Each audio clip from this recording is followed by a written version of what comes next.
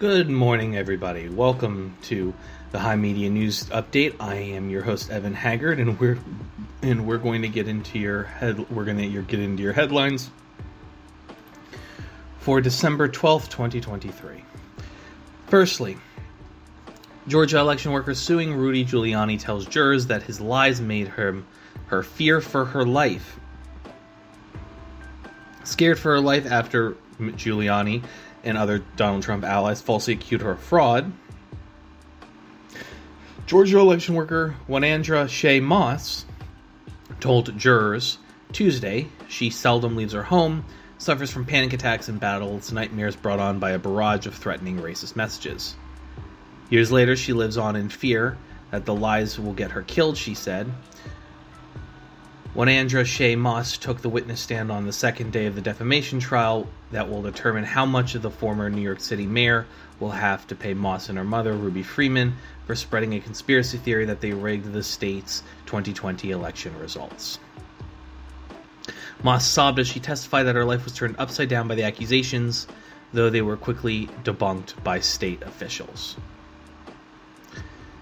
Meanwhile, President Joe Biden states that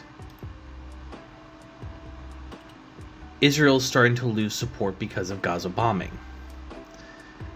In the wake of the continued bombing of the of Israel, discussions and and opinions that normally are held behind closed doors between the Israeli and US government are coming to light, including the revelation that both Biden and his aides are are advising the Israeli government to either change leadership structure, change governments, boot Netanyahu, or uh, de escalate the fighting because of waning support at home, especially among the next generation. Meanwhile, in Wisconsin, Governor Gretchen Whitmer's push for abortion rights continues as she repeals insurance requirement in Michigan. Since the overturning of Roe v. Wade last year, abortion rights has become a driving force for the ballot box. Democratic candidates, including Whitmer in her during her 2022 reelection campaign, have made the issue a central part of their pitch, and voters, in turn, have consistently chosen to protect abortion rights and picked candidates who support those rights. Quote, Today, 10 years after I gave a speech on the Senate floor and shared my own story as a survivor of sexual assault, I am honored as governor to repeal the ban on insurance coverage for abortion, Whitmer posted on Twitter after signing the bill. Trans rights, but it's okay to dead name Twitter. The moral of the story is never stop fighting for what you know is right, she said in the post.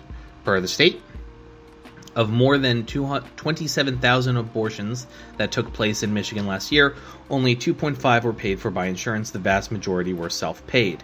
The controversial insurance rider requirement was approved in 2013 by the then Republican led legislature, and Whitmer, then the Senate state Senate minority leader, spoke against it at the time and revealed her own personal story. The Republican male majority continues to ignorantly and unnecessarily weigh in on the important women's health issues that they know nothing about, she said, according to MLive.com.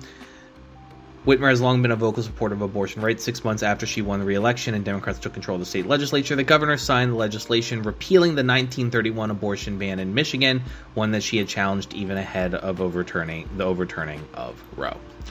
Ladies and gentlemen, thank you so very much for listening to your HI Media News Update. We are happy to serve you. Thank you so much for your time, and we will see you guys tomorrow.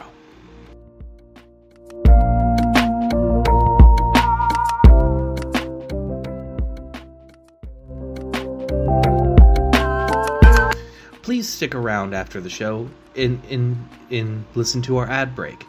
It supports the show and, well, it makes it so morning coffee and HI Media news update are able to better serve you.